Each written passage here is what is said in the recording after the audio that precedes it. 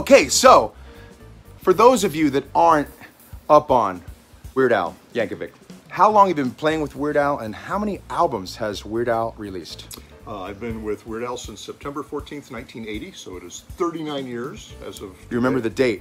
I remember you posted remember something recently about the date and the time, yeah. And uh, we've recorded 14 studio albums. 14. And had a series of uh, hits albums, as well as a box set housed in an accordion, Oh my gosh. and uh, live videos and uh, compilations of our uh, uh, record videos and books. It and, never uh, ends. it never ends. The music videos are epic. Yeah. So you want to be in the band, you program drums. Someone else is going to do your gig. No, no, I'll, I'll go. I'll get a drum machine. That's I'll learn. some work. So I, I grew as a drummer and a programmer and a sound designer. Amazing. And, uh, it's been great. That's that's incredible. Let's look at this snare drum that you brought. I heard you brought a couple of items, and we're gonna take a look at them weird. right now. All right, let's see. Weird. What do we got? What do we got? Ooh, is that glass? No. What do we got? But It's air. you can certainly see through it. It's air. Nice. It is. that? This is a Marcus de Maubre spacer snare. I have space. The and not you know you think no shell right? It's sensitive as hell. But th- and that just goes to show you what the true action of a snare is, and that is the force going down here Yep. into that head. Yes, Sound waves. It's, it's not going out the side. Sound it's, waves. It's doing Yep. what it's supposed to do. Wow. Uh, d- there are about 30 of these drums. This is number 27. Uh, I eventually spoke to Marcus. He's based in London, and he gave me. He's got he's got a drum set that's done. So, that's that's one of my cool snares. There's a funny story about this drum. I saw it when I was in London in a cool drum shop, and uh, I didn't actually buy it then. But I asked them about it. They said we we know nothing about this. I said, uh, okay, well, it's kind of cool. Anyway, got home. I thought about the drums some more, and I wanted it really bad. Anyway, turns out the guy that made the drum is in London, and these guys didn't even know about it. wow. Uh, and I did eventually. Uh, And that was at a drum shop. A, this is at a drum shop in, in town. and they didn't even know. They did. They had no idea.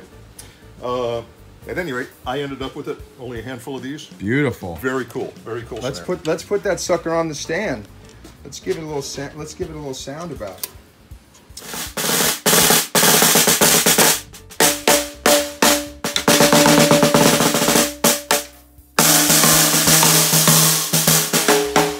This was made in the 90s. Oh, 90s. In the mid 90s. Wow.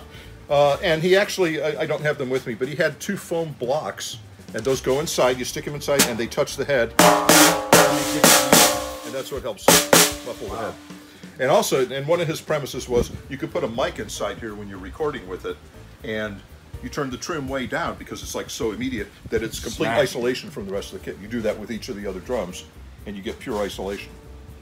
Nice. So a, a pretty fun drum, very limited production on these, and uh, a, a nice addition to my You don't even know what the value of it is, huh? I I don't I don't know. I'm gonna give it a value of umpteen thousand dollars. I'll take it.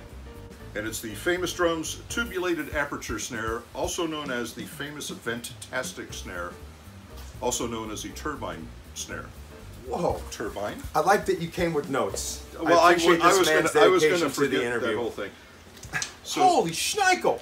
I don't know why it's called a turbine snare, but I understand the rest of it. This thing Is that wood or is that? This um, is wood. This was made by Joe Partridge in 2009. I bought this at the Chicago Drum Show.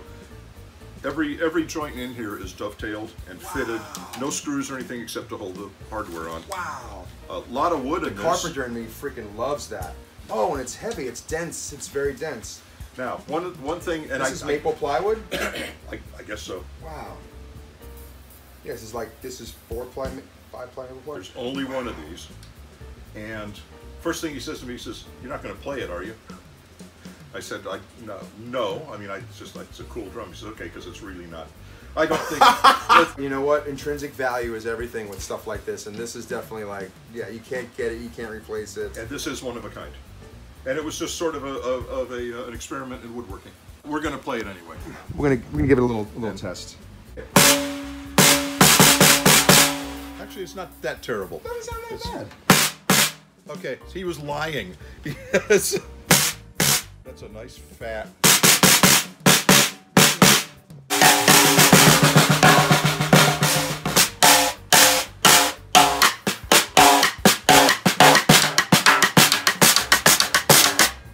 Wow.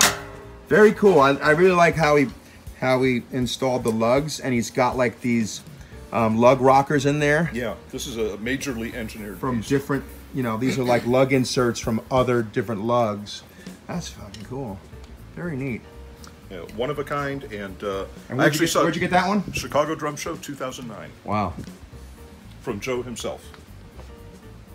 And then you just have one of these, huh? This is the only one. And uh, this has been, it's made the rounds on Facebook so many times. Somebody else has actually posted the picture, you know, wondering what it was. I say, hey, that's my picture. my drum, my photo. Love it. Thank you. Thanks for bringing that. You are welcome.